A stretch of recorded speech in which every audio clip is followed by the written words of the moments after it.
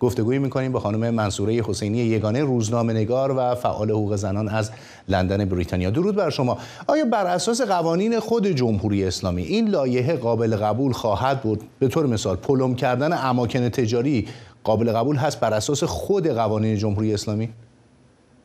من سلام می‌کنم به شما و بینندگان محترمتون. ببینید وقتی که ما از قانون صحبت می‌کنیم و میگیم آیا این بر اساس قانون قابل اجراست انگار یک پیشفرزی در ذهن ما هست که جمهوری اسلامی یه سری کارهای قانونی هم انجام میده. در حالی که جمهوری اسلامی مثل بسیاری از چیزهایی که در این چهل سال به افتضال کشیده قانون رو هم به افتضال کشیده. ما اگر نگاه بکنیم در حوزه های سیاسی اقتصادی قضایی اجتماعی صدای وکلا و حقوقدان ها در اومده که حتی کمترین اتفاقات قانونی هم نمیافته. اما حالا که بحث بحث قانون هست من باید به این مسئله اشاره بکنم که ببینید انقدر وضعیت شورای نگهبان وضعیت عجیب و پیچیده ای هست و انقدر درش بازه که هر چیزی ممکنه در اون تصویب بشه.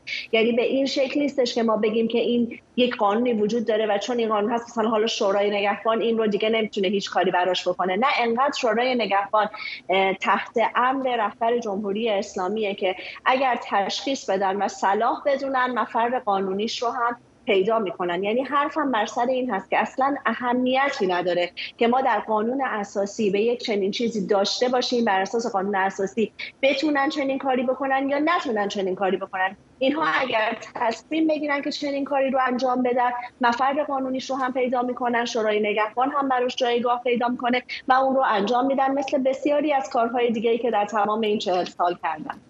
خب خانم حسینی یگانه اشاره کردین حتی اگر در قانون اساسیمون هم نباشه اینا کار خودشون رو انجام میدن و خلاف اون خواهند بود.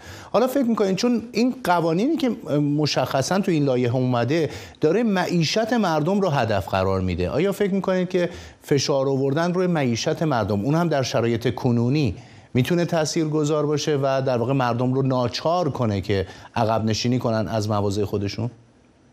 ببینید همطور که متوجه هستید الان دیگه یک طوری شده این نافرمانی مدنی و این اعتراض هایی که مردم به خصوص زنها دارن می‌کنن که دیگه نه محدود به شهرهای بزرگه و نه محدود به تعداد افراد کمی هست. به خاطر همین اینها اصلا دیگه نیرویی هم ندارن توانی هم ندارن که بتونن جلوی این همه نافرمانی مدنی بیستن. چیکار می‌کنن؟ یک چنین قوانینی رو می که همونطور که شما به درستی اشاره کردید بیاد در یک بخشی معیشت مردم رو تحت شعا قرار بده و مردم رو در برابر مردم قرار بده. به چه شکل؟ به این شکل که خیلی خوب پس شما اگر که این قانون رو رعایت نکنید همین مغازه‌دار به شما نباید خدمات بده تاکسی نباید بده. مغازه شما رو میبندیم تاکسی شما رو میخوابونیم.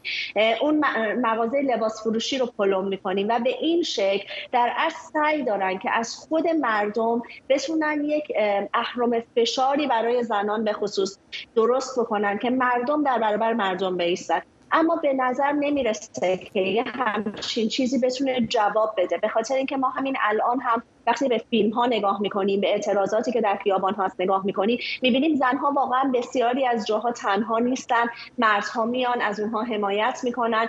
گزارش هایی که داریم می‌خونیم توی فضاهای مجازی مبنی بر تاکسی ها که به حال زنها رو بدون حجاب سوار می‌کنن. مغازه هایی که دارن خدمات میدن.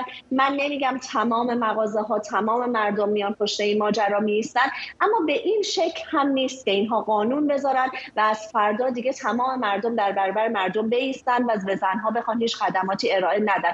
ضمن اینکه از همون بود اقتصادی اگر شما نگاه بکنید اگر قرار باشه زنهایی که حجاب اجباری رو قبول نمی‌کنن به سمت این خدمات اقتصادی هم نرن. یعنی خرید نکنن از ماشین های اسنپ و غیره استفاده نکنن و بخوان همه این چیزها رو خودشون انجام بدن خریدهاشون رو از خارج از کشور انجام بدن یک راهی پیدا بکنن.